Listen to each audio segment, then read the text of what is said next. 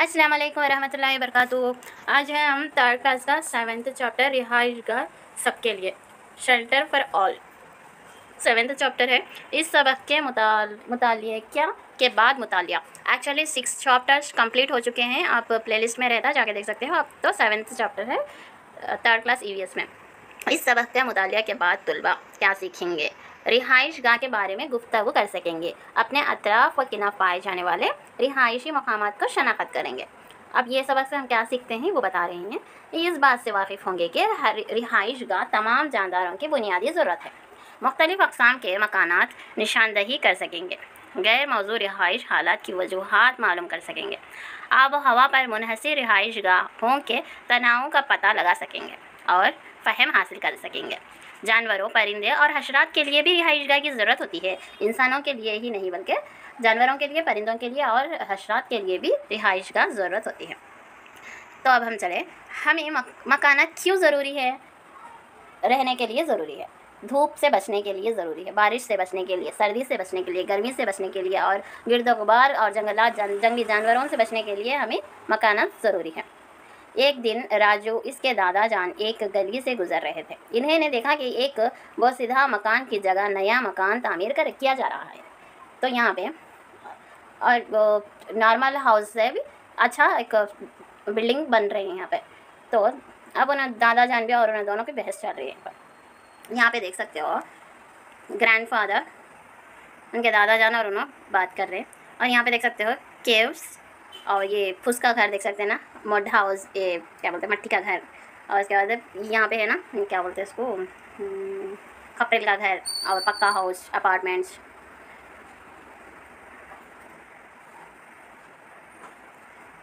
मकानात का इर्तखा आए अब हम अब हम मालूम करेंगे कि कई साल पहले लोग किस तरह की ज़िंदगी हम्म, अब यहाँ पे देखो। कहाँ पे है? हाँ। तो आए, अब हम मालूम करेंगे कि कई साल पहले लोग किस तरह की ज़िंदगी गुजारते थे। पहले ज़माने में क्या करते थे लोग? गारों में रहते थे, बाद में झोंपड़ियाँ में रहते थे फूस के घरा बोलते ना ऐसा, झोंपड़ियाँ में रहते थे, बाद में मिट्टी का कच्चा मकान में रहते थे। उसके बाद क्या रहते? खवेली का घर में रहते थे। उसके बाद पक्का मकान में रहते और उसके बाद क्या है? अपार्टमेंट में रहना शुरू करें और आजकल ये फूस झोंपड़ी के घर और गारा तो नहीं है और मिट्टी का मिट्टी का घर भी नहीं है। कहीं एक दो जगह एक हवेली का घर दिखता है और ये पक्का घर और अपार्टमेंट्स तो हर जगह मौजूद है। बुज़ुर्गों से गुफ्तु कीजिए, अपने बुज़ुर्गों से गुफ्तु कीजिए और मालूम कीजिए कि वो किस किस्म के मकान में रहते थे। पहले ज़माने के लोग जो भी बुढ़े लोग आप लोगों को दिखे तो आप मतलब दादी दादा या उन परदादी परदादा ऐसा कोई भी रहे तो उनसे पूछो कि आप लोग कैसे घर में रहते थे? पहले बोल के पूछो और उनसे मालूम हासिल करो बोल के। मकानात के अकसाम। अब तक हमने मकानात के बतारिश, इरतका से मुतल मालूम हासिल की है। अब हम मालूम करेंगे कि हमारे अतरफ वकीनफ मकानात की तमीर किस तरह की जाती है। लोग मकानात की तमीर के लिए दर्ज झैल अमवार पर इन्हसा करते हैं मौसम आबो हवा दस्तियाब, तमीर अशिया माशी हालात, जगह की दस्तियाबी। आए हम मुख्तलिफ़ किस्म के घर और इनमें रहने वाले अफराद से मुतल मालूम करेंगे। और मैं चंचैया हूँ। मैं नल्ला मल्ला के घने जंगलात में रहता हूँ। ये मेरा मकान है।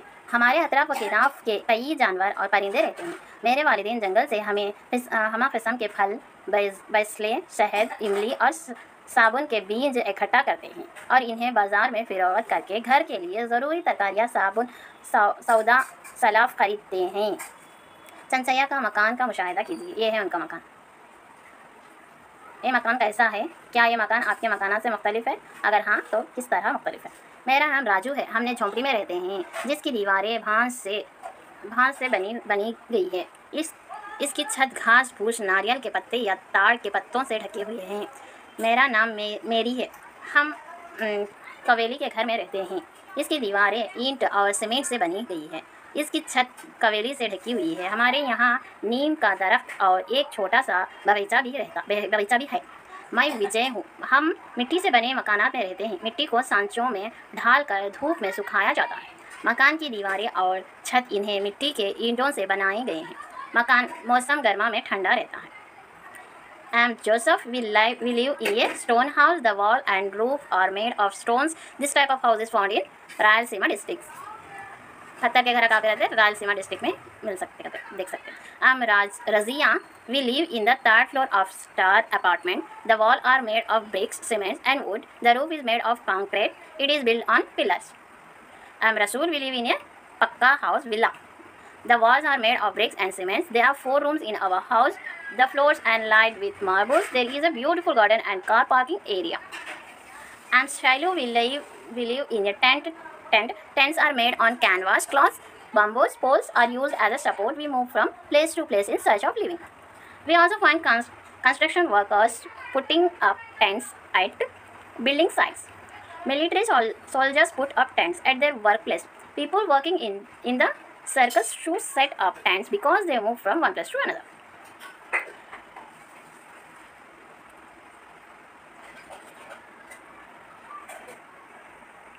Caravan. It is a house on wheels. It can be driven from place to place. What kind of house do you live in? Houses that keep changing location and can be moved to other locations are called temporary house. Houses that keep changing location and moved to other locations are called temporary houses. Houses that cannot be moved or taken to different locations are called permanent houses. Pacha house and Pakka house. We have learned about different types of houses. Houses are divided into two categories. They are Kacha house and Pakka house. The house made of wood and straw are called Kacha house. All huts are Kacha houses. The house made of bricks, sand and iron are called Pakka house. They are very strong. यहाँ पे देखो कारवान इस किस्म का मकाना पहियों पर तामीर किया जाता है ऐसे मकानात को एक जगह से दूसरी जगह मुंतकिल कर सकते हैं ऐसे मकानात जिनके मकाम तब्दील होते रहते हैं और इन्हें एक मकाम से दूसरे मकाम तक मुंतकिल किया जा सकता है। आर्जी मकानात कहलाते हैं। ऐसे मकानात जिनको हरकत नहीं किया जा सकता और ना ही इन्हें दूसरे मकानात तक मुंतकिल नहीं किया जा सकता, मुस्तकिल मकानात कहलाते हैं। कच्चे और पक्के मकानात। अब तक हम मुख्तलिफ़ किस्म के मकानात के बारे में मालूम हासिल कर चुके हैं। मकानात को दो ज़मरों में तकसीम किया है। एक है कच्चा मकान, एक पक्का मकान। मिट्टी और घास से बने बन गए मकानात को कच्चा मकान कहते हैं। तमाम झोपड़ियाँ का शुमार कीजिए मकानात में होते हैं। और ईंट, रेत और फौलाद से मतलब आयरन से बने बने गए मकानात को पक्का मकान कहते हैं। ये बहुत मज़बूत और पायदार होते हैं। यहाँ पे देखो डिफरेंट टाइप्स ऑफ़ रूप्स मतलब छत्ता, बहुत डिफरेंट टाइप्स के रहते हैं ना? और क्या बोलते हैं रेका के रहते, शीटों के रहते, और खवेली का रहता, और क्या कंक्रीट से बने के रहते, और घास से बने रहते, ये ये है पूरे। You notice that the roofs of all houses are not alike some are flat and some have slope छत के मुख्तलिफ़ अकसाम, मकानात के बलाई हिस्से को छत कहते हैं। दर्जल में दिए गए छत के मुख्तलिफ़ अकसाम के होते हैं। थोड़े हैं स्लोप भी है, थोड़े फ्लैट भी है। कांक्रीट की छत, ये फ्लैट दिख रहा। और धाती शीट की छत है, एक स्लोप नीचे मतलब पानी गिरा तो नीचे गिरे वैसा है देखो छत स्लोप है, ऐसा। आपने गौर किया कि तमाम मकानात की छतें एक जैसी नहीं होती। बाज़ मस्था और बाज़ ढलवान होती है। यहाँ पे एग्ज़ाम्पल भी दिए देखो, पानी डालते ही, थोड़े ऑब्ज़र्व कर लेते, थोड़े, है, नीचे डाल देते, ऐसा।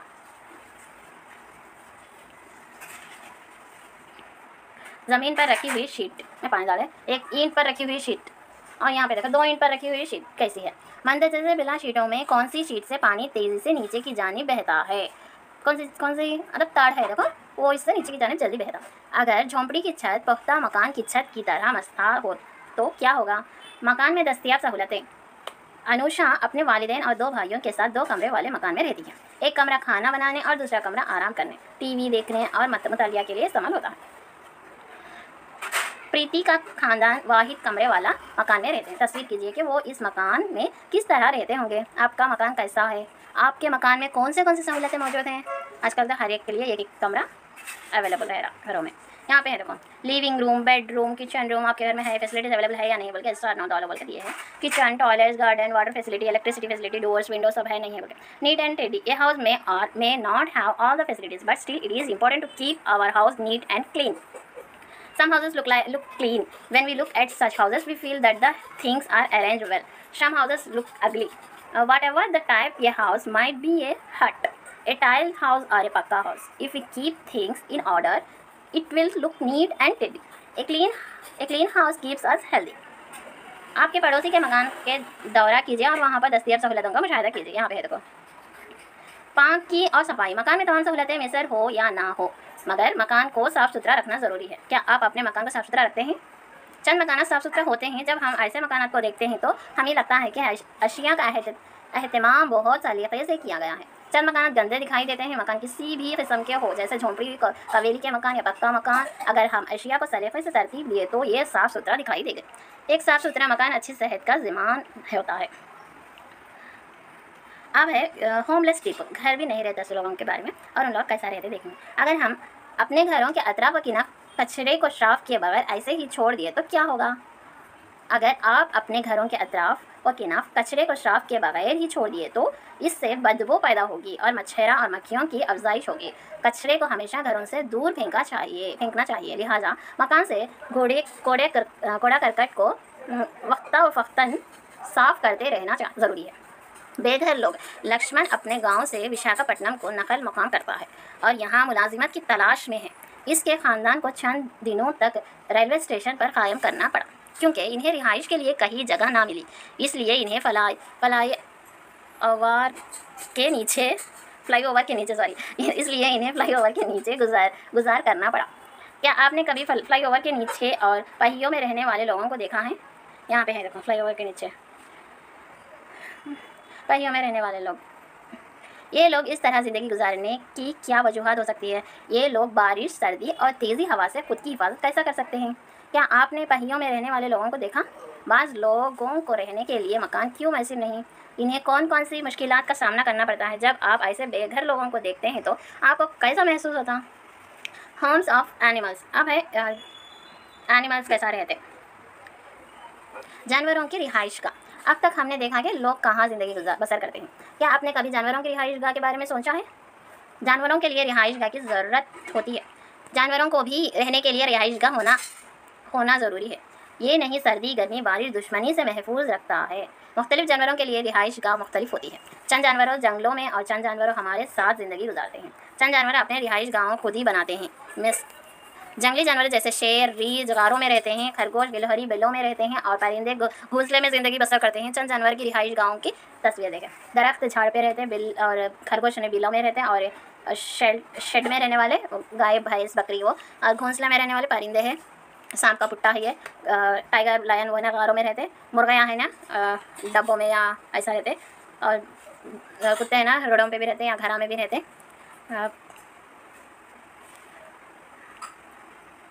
और उसके बाद है। मछलियाँ और व्हील जैसे जानदार पानी में रहते हैं। मेंढक और मगरमच्छ जैसे जानदार पानी और खुश्की दोनों मुकाम पर बसिंदगी बसर करते हैं। क्या आप जानते हैं कि चंद जानवरों की रिहाइश गाह में नहीं होती? बाद जानवर जैसे बंदर, हाथी हमेशा जंगलों में घूमते रहते हैं, जिनकी कोई रिहाइश गाह नहीं होती। बंदर और हाथी की रिहाइश गाह नहीं होती। Nest of birds a birds homes is called a nest birds builds nest to live eggs and raise young ones परिंदे की रिहाइश गाँव को घोंसला कहते हैं। परिंदे अंडे दे, देने और बच्चों की अफजाइश करने के लिए घोंसला बनाते हैं और वो अपने घोंसला बनाने के लिए टहनियों काड़ियाँ पत्ते रुई का इस्तेमाल करते हैं। इस परिंदे को देखें क्या आप बता सकते हैं कि ये क्या कर रहे हैं? ये अपने बच्चों को गज़ा फरहम कर रहे हैं। ये चुड़ियाँ हैं ये दरख्त या मकाना के लकड़ियाँ के शहर शहतरों पर अपना घोंसला बनाते हैं। घोंसला बनाने के लिए ये काड़ियाँ घास भूस पत्ते और रुई का इस्तेमाल करते हैं। खुद खुद दरख्त की टहनियों में बड़े बड़े सराखे बनाकर अपने रिहाइश गाँव बनाती है। बिया नामी परिंदा अपने घोंसला बनाने के लिए घास, भूस और टहनियों का इस्तेमाल करता है। घोंसलों में घोंसलों में दाखिला होने के लिए घोंसले की निचली सरे में एक सुराख बनाता है। हमने सीखा कि परिंदे और जानवरों अपनी रिहाइश गाहें बनाते हैं। हमारे अतरफ वकिनाफ कई तरह के हशरात भी पाए जाते हैं। यहाँ पे अब हशरात के बारे में आए हैं। हशरात के भी रिहाइश गाह होती है।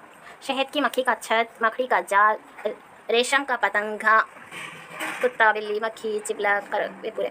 प्यारे बच्चों, मैं किट्टी एक बिल्ली हूँ। मैं सिम सुमंत और इसके घर वालों के साथ रहती हूँ। मैं जर्री नामी चूहे का इंतज़ार कर रही हूँ, जो मेरे साथी है और वो बिल में रहता है। बंटी एक कुत्ता है, जो इसका घर, केनाल में आराम कर रहा है। गाय, भेड़, बकरी भी हमारी साथ ही रहती है, मगर इन्हें घर से बाहर रखा जाता है। अब मेरा साथ बावर्ची खाना जैसे बाज़ अवकात वहाँ पर हमें मक्खियाँ और झिंगू नज़र आती हैं। हमारे घर के शहर में कौवे, तोते और गिलहरियाँ ने अपनी रिहाइश गाहें बनाई हैं। वो मैं भूल ही गई।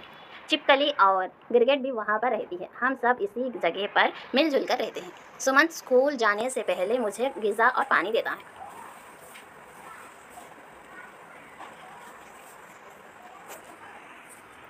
आपकी और मेरी तरह परिंदे और जानवरों भी आज़ादाना तौर पर ज़िंदगी गुजारना और ज़िंदगी का लुत्फ़ उठाना चाहते हैं।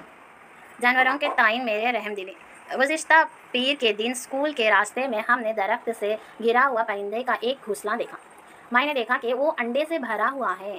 राजू ने इन अंडे को तोड़ना चाहा लेकिन मैंने इसको रोका और समझा कि इस तरह अंडे को नुकसान पहुंचाना बुरी बुरी बात है। सोचे कि इसकी माँ अपने अंडों के लिए कितना तरसती होंगी। इस वक्त हमने देखा कि मादर मादर को अपना घोंसला तलाश कर रही है। तब राजू दरख्त पर चढ़कर घोंसले को हिफाजत के साथ इसके मकाम पर रख दिया। राजू और अम, अमला दोनों मिलकर नारा लगाया नारा लगाया कि जानवर जानवरों और परिंदों को नुकसान नहीं पहुंचाना चाहिए। अब ये सबक से हमने क्या सीखा? मकान हमें पन्हा देती है और हमारी हिफाजत करती है। हमारे अतरफ वकीनाब कई किस्म के मकान पाए जाते हैं। सैलाब, तूफ़ान जैसे कुदरती आफत के दौरान अर्ज़ मकान बनाए जाते हैं। खान, खाने बदोश लोग खैमिया में रहते हैं। परिंदे और जानवरों के भी रिहाइश होती है।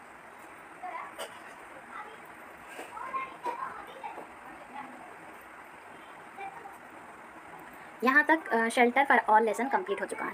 अब नेक्स्ट लेसन देखेंगे लेट्स ट्रैवल टुगेदर और उससे पहले इसके थोड़े क्वेश्चन आंसर्स हम ओरल से देखेंगे। अब तक लेसन पूरा कंप्लीट कर चुके हैं तो कितना समझ में आया, कितना नहीं समझ में आया, देखेंगे और सब क्वेश्चन देखेंगे।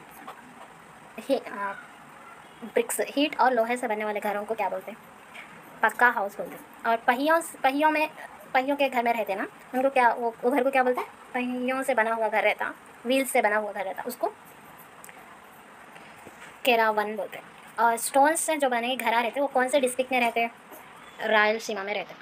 यहाँ तक ये ये चैप्टर कंप्लीट हो चुका है ऑलमोस्ट और नेक्स्ट अब हम नेक्स्ट चैप्टर देखेंगे। लेट्स ट्रैवल टुगेदर और ये ये क्वेश्चन अब ये है ना, इसके थोड़े बिट्स भी देखेंगे अपन। ये चैप्टर्स के, ये चैप्टर के।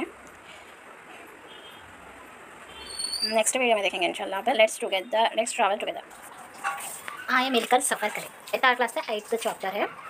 तो इस सबक से हम क्या सीखेंगे? सफ़र और तरसील से मुतल गुफ्तु करेंगे। हमला नखल में इस्तेमाल होने वाले अशिया अलामतें अलामतें साइन साइन बोर्ड और तरसील के ज़रिए की ज़राइयों की शनाख्त करेंगे। हमला नकल से जुड़े मकाम जैसे bus stand railway station, petrol pump वगैरह की शनाख्त कर सकेंगे। माजी और दूरी हाजिर के ज़राए हमला नकल के माबैन फ़र्क कर सकेंगे।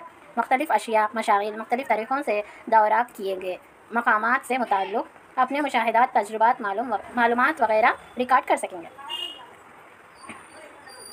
आ, वो गीत गाएगा लाइफ इसके बारे में। तो अपन यहाँ पे देखेंगे। Munnu David Salim Salim David Mannu David Salim भा भावना बहुत खुश है क्योंकि वो करनूल में एक साइंस नुमाइश में हिस्सा लेने जा रहे हैं। ये सब मंडल परीक्षत प्राइमरी स्कूल पन स्कूल पंच लिंगालिया के तलबा हैं। तमाम दोस्त मिलकर सफ़र से मुतल गुफ्तु कर रहे हैं। मेरा नाम सलीम है मेरे वालिद और वालदेन तमीरत इलाके में काम कर रहे हैं। वो रोज़ाना तुंगभद्रा नदी को पार करते हुए अपने काम पहुँच काम पर पहुँचते हैं। मैं नुमाइश को मेरे वालदेन के साथ आऊँगा। मेरा नाम मुन, मुन्नू है मेरी वालिद ऑटो वालिद वालिद ऑटो ड्राइवर है। मैं मेरे वालिद के साथ ऑटो से आऊँगा। जी। आओगी। मेरा नाम भानु है मेरे वालिद डॉक्टर है मैं अपने वालिद के साथ कार के ज़रिए पहुंचूँगी। मेरा नाम डेविड है मेरे बड़ा भाई करनौल में पढ़ाई कर रहा है वो रोज़ाना अपने बाइक पर कॉलेज जाता है। मैं अपने बड़े भाई के साथ बाइक पर आऊँगा। तो यहाँ पे बाइक चला रहे ऑटो चला रहे और कार चला रहे और थोड़े लोग बस में जा रहे हैं। और मेरा नाम पुष्पा है मैं साइंस की टीचर हूँ। मैं अपने अपने तलबा के साथ बस के ज़रिए नुमाइश देखने जाऊँगी। सो so, ये bus stand. Buses buses from different places have uh, halt at the bus stand there is a platform to board or a light a bus for the passengers तस्वीर में मौजूद सवारियों के नाम लिखिए वो मकाम जहाँ तमाम बसें रखते हैं बस स्टैंड कहलाता है मुख्तलिफ़ मकाम से पहुँचने वाली बस बस बस स्टैंड में रखती है। बसेस बस स्टैंड में रखते हैं। मुसाफिर के लिए बस से उतरने और चढ़ने के लिए बस स्टैंड में प्लेटफॉर्म मौजूद होता है। आपने बस स्टैंड में दीगर कौन सी अशिया का मुशाह किए क्या आपके गाँव में भी बस, बसों की आमद दौर, आमद दोराफत है? अगर नहीं है तो फिर आप किस तरह सफ़र करते हैं?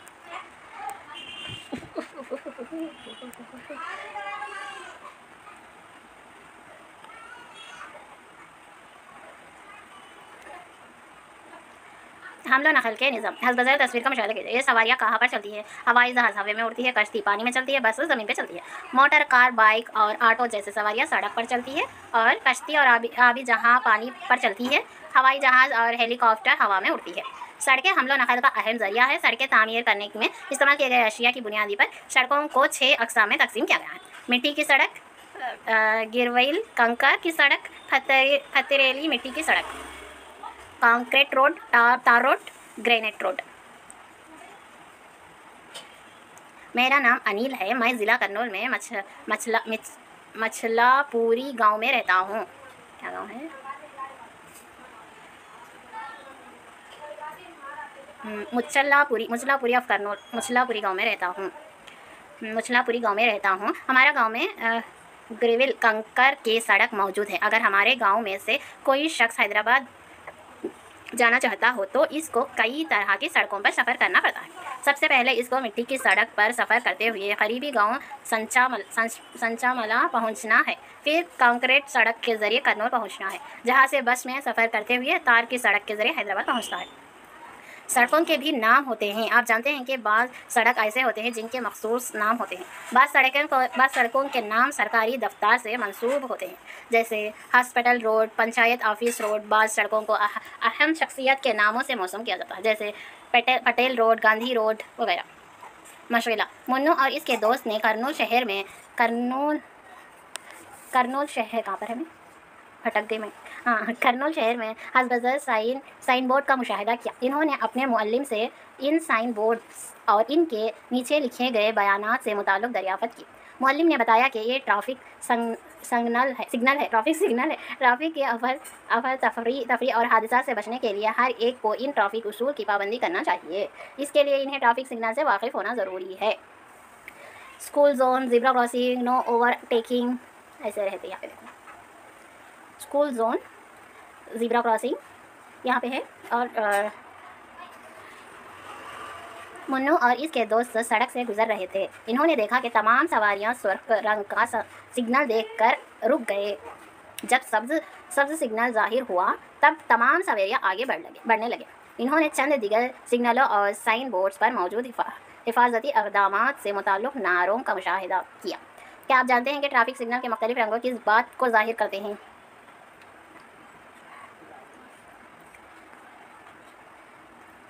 The government of India is promoting the use of electric and CNG vehicles. Why? मेरी साइकिल। मुन्नो बहुत खुश है, क्योंकि आज आज इसका सालगिरह के मौके पर इसके अबू से एक साइकिल तोहफे में दिए हैं। ये इसकी साइकिल है, मुन्नो साइकिल के मुख्तलिफ़ हिस्सों के नाम मालूम करना चाहता है। क्या आप इसकी मदद कर सकते हैं? अदद को मुतल ख़ानदान में दर्ज कीजिए।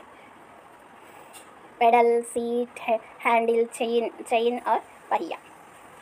सवेरियों के लिए गज़ा सवारियों के लिए गज़ा मुन्नू ने इसके अबू से पूछा कि, अबू, आप रोज़ाना बाज़ार बाज़ार साइकिल पर क्यों जा रहे हैं? अबू ने जवाब दिया, मेरी बाइक बाइक में ईंधन नहीं है, क्योंकि कल स्ट्राइक की वजह से तमाम पेट्रोल बंद थे। सवारियों को चलाने के लिए किस चीज़ की ज़रूरत होती है? सवारियों को चलाने के लिए ईंधन की ज़रूरत होती है। मुख्तलि सवारियों में कई किस्म की ईंधन इस्तेमाल की जाती है।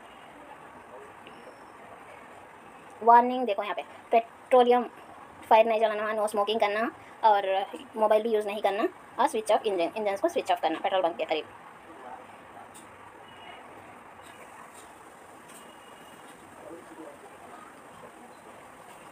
हमला नकल के अलावा दीगर सवारियाँ अब तक हमने मुख्तलिफ़ हमला नकल से मुतल मालूम हासिल किए हैं। बाद सवारियाँ ऐसे भी होते हैं जिन्हें एक जगह से दूसरी जगह सफ़र करने के लिए इस्तेमाल नहीं किया जा सकता। चंद सवारियाँ हमला नकल के लिए इस्तेमाल नहीं की जा सकती, इन्हें दीगर मकसद के लिए इस्तेमाल किए जा सकते हैं। ये सवारियाँ रोज़मर्रा ज़िंदगी में कैसे इस्तेमाल होते हैं? One nought eight just patients को हॉस्पिटल को ले जाने के लिए ही इंपॉर्टेंट इमरजेंसी के लिए यूज़ होता है। ये रोड रोलर है, और फायर इंजन और ये क्या है? क्या बोलते हैं क्या बोलते इसको?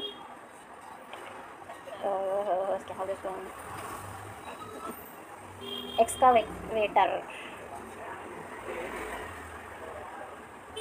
एक्सकावेटर यहाँ पे life skills we should select proper vehicles to travel difference distance we should use traffic signals and follow different traffic rules while tra traveling. We should use service like a 100, 104, 108 in, emergency cases.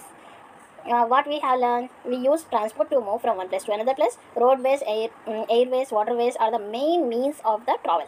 Uh, transport, means of transport. Different, different materials are used to concrete roads. We have to follow the traffic rules to avoid accidents. Vehicles need fuel to move. हमने क्या सीखा? एक मकान से दूसरे मकान तक सफ़र करने के लिए हम लोग नकल के मुख्तलिफ़ ज़राए का इस्तेमाल करते हैं।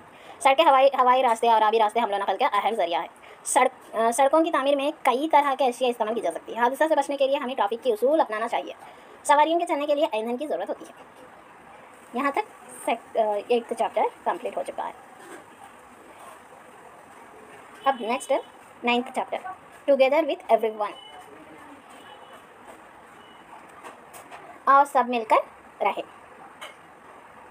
इस सबक के मुतालिक के बाद तलबा क्या क्या सीखेंगे? मिलजुल कर रहने की अहमियत का फ़हम हासिल करेंगे और सबसे मुताल गुफ्तु कर सकेंगे।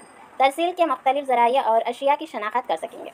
गुज्त और मौजूद दौर में तरसील के मुख्तलिफ़ ज़राए के माबेन फ़र्क बैन कर सकेंगे। इंसानों और जानवरों में तरसील के मुख्तलिफ़ तरीक़ों का फ़हम हासिल कर सकेंगे। मुख्तलिफ़ ख्याल और इनके इजहार का फ़हम हासिल कर सकेंगे। अपने ख्याल और जज्बात का एक दूसरे से तबादला या इजहार करने ही तरसील कहलाता है। तरसील का मीनिंग क्या है? अपने ख्याल और जज्बात को एक दूसरे के, एक दूसरे को ज़ाहिर करने को तरसील कहते हैं। आमतौर पर हम अपने जिस्मानी हरकत और सुकून जैसे देखना, सर हिलाना, हाथ और पैर को हरकत देने के लिए अपने ख्याल की तरसील करते हैं। बातचीत की तरह इन्हें भी तरसील के ज़राए मनाया जाता है। आप मैं नहीं जानता को ज़बान से अदा किए बगैर किस तरह ज़ाहिर कर सकेंगे? इशारे के ज़रिए ज़ाहिर कर सकते हैं।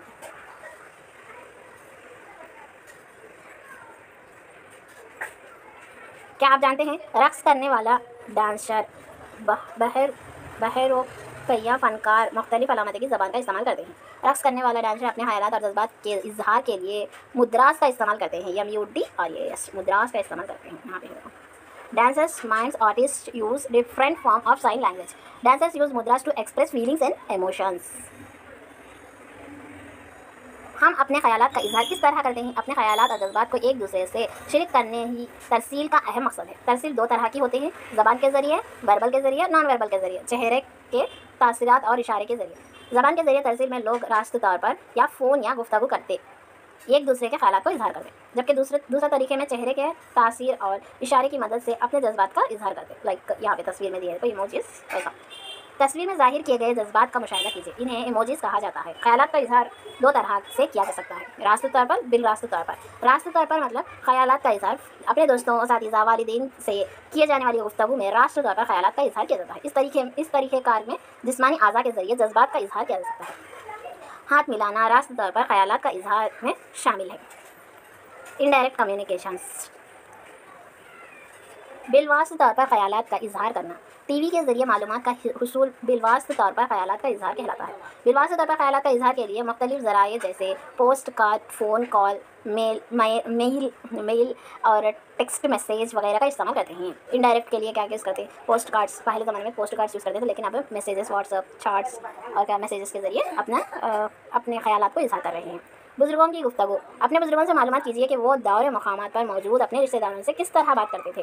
तहसील के तारीख कदीम दौर से डिजिटल दौर तक डिजिटल दौर तक कदीम दौर से प्रेजेंट डिजिटल दौर तक जो ज़माना कदीम में तहसील के तरीक़े का कार को ज़ाहिर करते हैं कदीम ज़माने में दौरे मकाम पर रहने वाले लोगों से रबता कायम करने के लिए मुख्तलिफ़ तरीके इख्तियार किया जाते थे जैसे ढोल बजाना धुएँ के ज़रिए इशारा देना कबूतर के ज़रिए घोड़ा सवारियाँ पैदल चलने वाले लोगों के ज़रिए एक मकाम से दूसरे मकाम तक ख़तों भेजने वगैरह दूर हाजिर में दूर दूर मकाम पर रहने वाले लोगों से ई मेल टेक्स्ट मैसेज और मैसेंजर्स, याप वगैरह के ज़रिए रबता कायम किया जा रहा है। दिए गए अलामत इशारे का मुशाह कीजिए। यहाँ पे है देखो, मुट्ठी बन के एक थोड़ा एक उंगली खोल के और ये दो उंगलियाँ खोल के अलामत के ज़रिए ख्याल का इजहार करना इशारे की ज़बान कहलाती है। अलामत के ज़रिए ख्याल का ज़ाहिर करना इशारे का ज़बान कहलाता है। आमतौर पर इस तरह के ज़बान को गूँगे और बहरे अफराद एक दूसरे से अपने ख्याल को ज़ाहिर कर के लिए इस्तेमाल करते हैं। Look at the given signs. Communicating through signs is called sign language. Deaf and dumb people use sign language to communicate with others. Think and discuss. परिंदे से फस, फ़सल की हिफाजत के लिए खेतों में आमतौर पर किसान इंसानी शक्ल के पत्ते पत, पतले पुतले पुतले रखते हैं परिंदे इन पुतलों को देखकर समझते हैं कि खेत में फ़सल की हिफाजत के लिए कोई इंसान खड़ा हुआ है ये भी ज़ाहिर ख्याल का एक तरीक़ा कार है क्या आपने कभी चुमटियों को एक दूसरे से इजहार ख्याल करते हुए देखा? चुमटियाँ अपने इजहार ख्याल किस तरह करते हैं? चुमटियाँ अपने पैरों और सर के ज़रिए अपने ख्याल को ज़ाहिर कर, ज़ाहिर ख्याल को एक दूसरे से ज़ाहिर करते हैं। क्या परिंदे और जानवरों एक दूसरे से अपने ख्याल को ज़ाहिर करते हैं? उस मोहब्बत, शफाकत, खौफ जैसे जबलतों को परिंदे और जानवरों मुख्तलिफ़ तरीक़ों से ज़ाहिर करते हैं। मुख्तलिफ़ जानवर अलग अलग तरीक़ों से अपने ख्याल और जज्बात को ज़ाहिर करते हैं। बसरी तसरी तरसील आँखों के ज़रिए देख कर ख्याल का ज़ाहिर करना। केचुआ और घूंग, घूंघा जैसे जानवर जब कभी खौफ का शिकार होते हैं, तब वो अपने सर को अंदर की जानिब खींच लेते हैं। खुशी के मौक़ों पर कुत्ते अपने दुम हिलाते हैं। समी तरसील, ये है ना बसरी मतलब देख बसरी देखने के ज़रिए, आँखों के ज़रिए। समी अब कानों के ज़रिए सुनकर ख्याल का इजहार। हाथी झुंग झंगाड़, झंगड़ते हुए दूर मकामत पर मौजूद हाथियों की झूठ से रबता कायम करती है। भेड़िया झुंड में मौजूद दिगर भेड़ियों से चीखते हुए रबता कायम करती है। क्या कभी आपने अपने पालतू कुत्ते को आपके पैर चाटते हुए गौर किया, कुत्ता ऐसा क्यों करता है? कुत्ता और बिल्लियाँ अपने बच्चों को चाट कर मोहब्बत का इजहार करते हैं और इन्हें पाक साफ़ रखते हुए इनके महर का पैदा करते हैं। बंदर बंदर और बेबों अपने मोहब्बत का इजहार करने के लिए एक दूसरे पर हाथ फेरते हैं।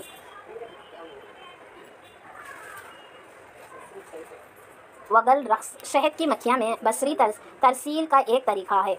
मजदूर मक्खियाँ गज़ा से मुतल मालूम को रक्स के ज़रिए ज़ाहिर करती है।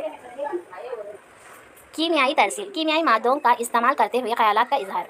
बिल्लियों, अशिया, एशिया को अपने पैरों से घर पचहत्तर हुए, इनमें अपने वो पैदा करती है। दुश्मनों की शनाख्त करने के लिए सांप और कुत्ते अपने सूंघने की सलाहियत का इस्तेमाल करते हैं। हमने क्या सीखा है सबक से? अपने ख्याल और जज्बात का एक दूसरे से तबादला ज़ाहिर करना ही तरसील कहलाता है। ख्याल का इजहार दो तरह से किया जा सकता है राष्ट्र तौर पर बिलरास्त तौर पर। बिलरास्त तौर पर ख्याल का इजहार के लिए पोस्ट कार्ड्स सेलफोन्स और इंटरनेट का इस्तेमाल किया जा सकता है। ज़बान के ज़रिए तरसील वर्बल्स में लोग रास्त तौर पर फ़ोन पर गुफ्तु करते हुए एक दूसरे का ख्याल का इजहार करते हैं। नान वर्बल तरीके में चेहरे का तासीरात और इशारों की मदद से अपने जज्बात का इजहार किया जाता है। बसरी तरसील समी तरसील हिस्सी के ज़रिए तरसील और कीमियाई तरसील के ज़रिए जानवर अपने ख्याल का इजहार करते हैं। तरसील तरसील के लिए मुनासिब मौक़ों पर मुनासिब आलात का इस्तेमाल किया जाता है। जानवरों के तय हम हमदर्दी का इजहार कर, करें। नॉन वर्बल तहसील का चंद तरीके लिखिए। इंटरनेट है फ़ोन ईमेल्स ये पूरे नॉन वर्बल है। अब नेक्स्ट है tenth lesson games and recreations यहाँ पे एक राइम है। अब हम इस सबक से क्या सीखेंगे? मुख्तलिफ़ किस्म के खेल और तफरीक से मुतल गुफ्तु कर सकेंगे। रोज़ाना रोज़ाना खेलने और इसकी अहमियत से मुतल फ़हम हासिल करेंगे। घर में खेले खेले जाने वाले मैदान में खेले जाने वाले खिलौनों के दर्जबंदी कर सकेंगे। खेलों के असूल व ज़ाब्त की पाबंदी करते हुए जज्बे खैर सगाली को अपनाएँगे। Clap your hands clap your hands listen to the music and clap your hands tap your feet tap your feet ये पर देखो। इसके बाद दे वेर प्लेइंग गेम्स बच्चे बहुत मेहनत से इल्म हासिल करते हैं और हमेशा इकतसाबी मशाइल में मशगूल रहते हैं। बाज़ अवत एक ही किस्म के काम अंजाम देने और मसलसल काम करने से हम सुस्त और बोरित महसूस करते हैं। हमें राहत और खुशी की भी ज़रूरत होती है। इसलिए हमें तफरी की ज़रूरत होती है, जिससे हमें खुशी हासिल होती है। खेल तफरी का एक ज़रिया है, इसलिए बच्चों को खेलना बहुत पसंद है। मुख्तलिफ़ खेल खेलते हुए वो अपने आप को सेहतमंद रखते, रख पाते हैं। दर्ज ज़ैल मशाइल दिए गए आपको खुशी में फ़राहम करने वाले एक्सरसाइज है। तीरना खेलना, घरेलू काम करना, यहाँ पे देखो, रस्सी खेलना, स्किपिंग करना, छुपन छापी और थैली थैली का खेल है। ये खेला खेल के खुशी होते बच्चे। खो खो कबड्डी, ये गेम्स भी खेलते हैं। वो खेल जिन्हें घर के अंदर खेला जाता है। घर में खेलने जाने वाले खेल इंडोर गेम्स कहलाते हैं। लट्ठू चिन्नी चक्कर चक्कर, टेबल टेनिस वगैरह घर में खेल, खेले जाने वाले खेल है।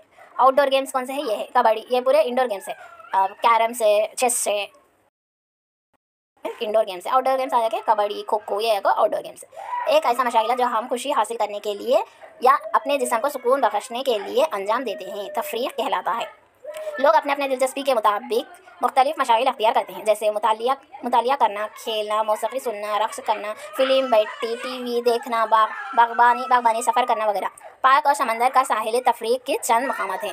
रोड पर की आवाज़ आ रही है, आप लोग लाइट लीजिए उसको। आप कुछ नहीं कर सकती हो। क्रिकेट, वॉलीबॉल सोचा और बहस कीजिए। वो खेल जिन्हें खेल मैदान या खेल के मैदान में खेला जाए, मैदान में खेले जाने वाले खेल को आउटडोर गेम्स कहते हैं। Football basketball tennis tennis cricket cricket वगैरह। रस्सी का खेल या, क्या घर में खेलने जाने वाले खेल है या मैदान में? घर में। छुट्टियों के दौरान चर, चरिता, इसका भाई और इनके अब्बू मिलकर खेलते हैं। बाज़ अवकात वो घर में खेल, खेले जाने वाले खेल और बाज़ अवकात मैदान में खेले जाने वाले खेल खेलते हैं। चरिता मैदान में अपने भाई के साथ मिलकर मिलकर क्रिकेट और थ्रोबाल थ्रोबाल थ्रोबाल और अपने अबू के साथ घर में शतरंज और कैरम्स खेलती है। Kabaddi is our state game hockey is our national game kabaddi is our state game in village children plays different games like एडुपेंकुल एडुपेंकल आटा कोथी कोमाची बंगाराला आटा पुली मेका मुक्का गिल्ला आटा तोकड़ बिल्ला नीला बंडा बिल्ला etcetera there are our local games इसमें मैं तो कुछ भी नहीं खेल के है इसलिए मेरे को नहीं आ रहे वर्ड्स भी। देख के है समझो। रोड पे खेलते रहते बच्चे। तो देख के है। क्योंकि मेरे घर में मेरे बच्चों बॉयज़ को भी बाहर नहीं भेजते। छोटे जब बचपन में। लेकिन अ, रुका नहीं सकते। गेम्स एंड मटेरियल्स खेल और दरकार अशिया। ठन्नी चरिता और सिंदूर सिंदूर तीनों मिलकर तीनों मिलकर बाल खेलने के लिए एक गेंद खरीदा। चंद और तर चंदू और चंदू और तरुण गली और डा, गिल्ली डांडू ले गई चंदू के अबू ने मुकामी तौर पर दस्तियाब लकड़ी की मदद से गिल्ली डांडू टिक कैट तैयार किया। इस तरह मुख्तलिफ़ खेल खेलने के लिए हमें मुख्तलिफ़ अशिया की ज़रूरत होती है। टिन टिनी क्रिकेट खेलने के लिए रंग रंग और रस्सी का खेल खेलने के लिए रस्सी का इस्तेमाल करते हैं। क्रिकेट खेलने के लिए गेंद बैट स्टेप स्टेप्स दार क्या है? अल्लाह, फनी चरिता, सुंदर, क्या है?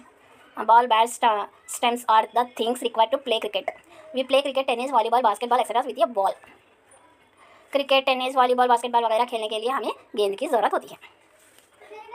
Children prefers to watch TV or play video games with electronic gadgets. But playing with such things affect their eyes and cause uh, obesity and ill health. Children should play in the ground at least two hours a day, 4 p.m. to 6 p.m. in an ideal playtime for children. Sports for all. Everyone enjoys watching and play playing sports. During holidays, hold plays in the ground, boys or girls. Why girls do not play? However, girls should be encouraged to play sports and games as playing games making everyone fit and healthy. Encourage your mother, sister, and friend, friends to play. Boys and girls are equal capable of doing all things in the world.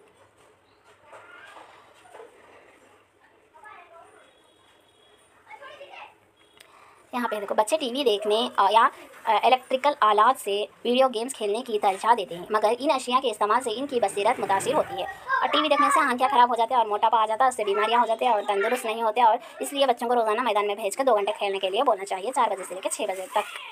और लड़कियाँ ज़्यादा खेलना पसंद नहीं करते। कहीं बोलते इन्हों क्या बोलते क्यों क्या बोलते बोलते इसलिए उन लोगों को एंकरेज करके, लड़कियों को भी खेलने के लिए मौका देना और उनको थोड़ा एंकरेज करने से लड़कियाँ भी खेलते और दुनिया में हर काम को अंजाम देने के लिए लड़के और लड़कियाँ दोनों मसावी मुकाबिलत में काबिलियत रखते हैं बोल के है। Users of games, through games and sports children feel happy and gain good good health. Develop देखेंगे। खेलों के फ़ायदे खेलों के ज़रिए बच्चों में खुशी महसूस होती और तंदुरुस्त रहते। आला किरदार जैसे इतिहाद बाहमी बाहमी फ़हम कायदाना सलाहियत फ़रोग होती। ग्रुप्स तौर पर काम करने की सलाहियत होती। तवज्जो मरकूज़ करना सबर को सबर को इख्तियार करने की सलाहियत होती। खेतों खेलों में शिकस्त को काबू करने और कामयाबी पर खुशी का इजहार करने जैसे मावन हयात महारतों महारत फ़िरोग पाती। जल्दबाजी का मज़ाहिरा किए बगैर अपने बारे में बार, अपने बारी का इंतज़ार करने का आदत फ़िरोग पाती। किसी भी मैच को जीतने के लिए टीम में मौजूद तमाम खिलाड़ी खिलाड़ी, खिलाड़ियों को मिलजुल कर खेलने ज़रूरत है। खेल के दौरान हार और जीत होती रहती है। खेल के दौरान शिकस्त हासिल होने वाले, होने पर गमगीन नहीं होना चाहिए और दूसरों से लड़ाई झगड़ा नहीं करना चाहिए। टीम में मौजूद तमाम खिलाड़ियों के चाहिए कि आपस में एक दूसरे के तारीद करें और एक दूसरे का एहतराम करें। इसी सिफ्त को जज्बे अज्तमा टीम स्पिरिट कहते हैं। अगर टीम में जज्बे अजतमाई का साथ ना खेलने से क्या होगा? शाम पर पहुँचने से खौफजदा ना हो। इस खेल में ऊपर नीचे होता रहना आम बात है। सफ़ेद और सियाह खानों में राज, राजा और रानी रहते हैं ये जैसे वो। रंगीन कांच की गेंद पाई पाई जाती है। जीतने के लिए किसी एक पर निशाना लगाना है। ये है ना ये गोलियाँ मतलब गोटियाँ बोलते हैं ना।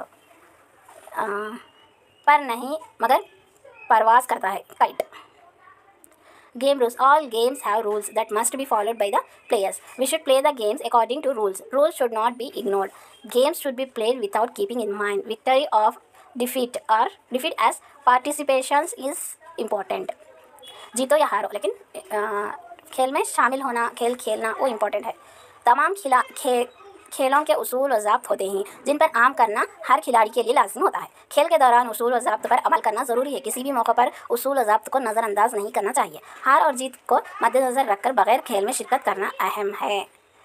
हार जाते बोल के खेल नहीं खेले वैसा नहीं रहना। हारना, जीतना एक पार्ट है बोल के खेलना इंपॉर्टेंट है। कबड्डी खेलने के उसूल को ग्रुप में मुबाहिजा कीजिए और अपने नोटबुक में दर्ज कीजिए। क्या आप कबड्डी खेलने के उसूल ज़ाब्त से वाकिफ़ हैं? इन ज़ाब्त से मुताल्लिक टीम के अरकान से बहस मुबाहिस कीजिए। क्या हमें हमेशा खेल, खेलों में उसूल और पर अमल करना ज़रूरी है? हाँ। हाँ हमें उसूल और ज़ाब्त पर अमल करना चाहिए। जहाँ जहाँ कहीं भी खेल में हिस्सा लेते हो, हमें चाहिए कि और ज़ाब्त पर अमल करें।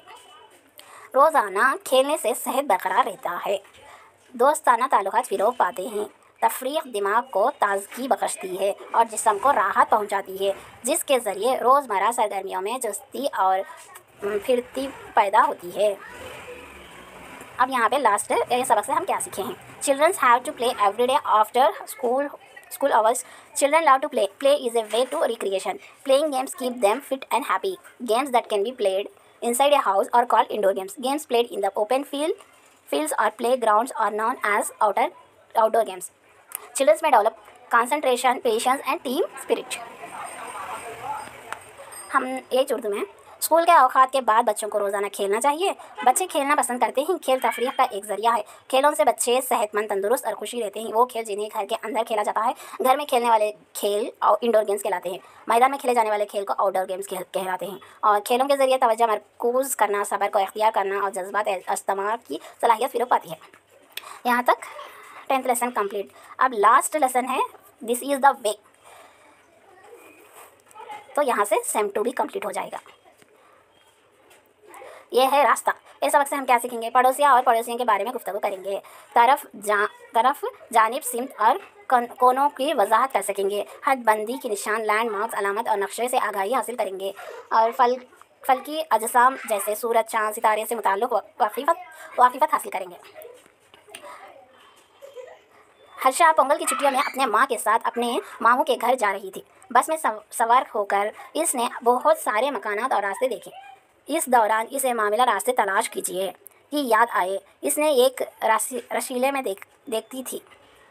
How should I reach my my uncle house shall I go right or left shall I go east or west shall I go north or south यहाँ पे पिक्चर से देखो। Every neighborhood has a few faculties that make our lives more comfortable. Harsha ने अपने माँ से पूछा, मामू मामू जान का घर कहाँ है? हम वहाँ तक किस तरह पहुँचेंगे? क्या आपको मामू जान का घर का रास्ता मालूम है? मामू ने जवाब माँ ने जवाब दिया हाँ मैं जानती हूँ। चलो चलते हैं।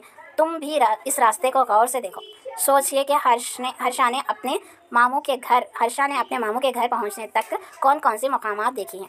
अपने मामू के घर पहुँचने के बाद हर्षा इनसे इनके घर का पता मालूम मालूम करने में पेश आई उलझन का हाल सुनाया। इस पर इन्होंने जवाब दिया कि वो किस मकाम पर अकेले मकाम में नहीं रह सकते। इनके मकान के अतराफ व किनाफ कई मकानात है। इन मकानात में बसने वाले हमारे पड़ोसी है। हमारे मकान के अतराफ व किनाफ पाए जाने वाले मकानात हमारे पड़ोसियों के कहलाते हैं। हमारे पड़ोसियों में पार्क, मंदिर, नदी, खेत वगैरह भी पाए जाते हैं। हर पड़ोसी में चंद सहूलियतें पाई जाती हैं जो हमारी ज़िंदगी को आरामदायक बनाती हैं। हर्षा ने अपने मामू के घर के अतराफ व किनार का मुशाहिदा किया। इसने देखा कि घर के सामने आम का ये एक बड़ा दरख्त है। घर के पीछे की जानिब एक कुआँ है। हर्षा वहाँ मुँह हाथ धो ली इसने ये देखा कि घर के दाएँ जानिब एक बड़ी इमारत है और बाएँ जानिब एक छोटी छो- झोंपड़ी है। हर्षा के मामू के घर के आगे सामने क्या है? हर्षा के मामू का घर के पीछे क्या है? हर्षा के मामू के घर के यहाँ पे देखो। साइड्स क्या है? नॉर्थ, ये वाला हाउस, ये हमारा घर है तो उसके इधर साइड, वेस्ट, उधर साइड, ईस्ट, आगे, साउथ, पीछे, नॉर्थ, ऐसा। आगे, पीछे, सामने। दूसरे दिन सुबह हर्ष हर्ष, हर्षा, जब नींद से बेदार हो तो इससे बड़ा ताजुब हुआ, क्योंकि इस घर के दहलीज से तुलूब होता हुआ सूरज नज़र नहीं आ रहा था। इसने अपने अम्मा से पूछा कि, ऐसा क्यों है? और तुलूब होता हुआ सूरज क्यों नहीं देखा, दिखाई दे रहा है? जबकि हमारे हम अपने घर के दहलीज के आगे खड़े होकर सूरज को तुलू होते हुए देखते हैं। ये सुनकर माँ ने जवाब दिया कि, मामू जान का घर शुमाल की जानब रुक के हुई है और ये भी देखा, दिखलाया कि सूरज दूसरे सिमत में तुलू हो रहा है। हर्षा सिमतों के बारे में मालूम मालूम हासिल करना चाहती है, इसलिए मामू जान के इसी खे, खुले मैदान में ले जाकर सिमतों के बारे में समझाया। इन्होंने कहा, अगर आपने तुलु तुलु होते हुए सूरज के मुकाबले खड़े हो जाए तो आपके आगे सिमत मशरक है। और आपके पीछे की जानब मौजूद सिमत मगरब है। आ, पीछे की जानब मगरब है। और बाएँ जानिब बाएँ जानिब वाले सिमत शुमाल और दाएँ जानिब वाले सिमत जुनूब है। तमाम सिम मुस्तकिल होते हैं। आमतौर पर इन्हें शुमाली सिमत से महसूब किया जाता है। यहाँ पे है देखो।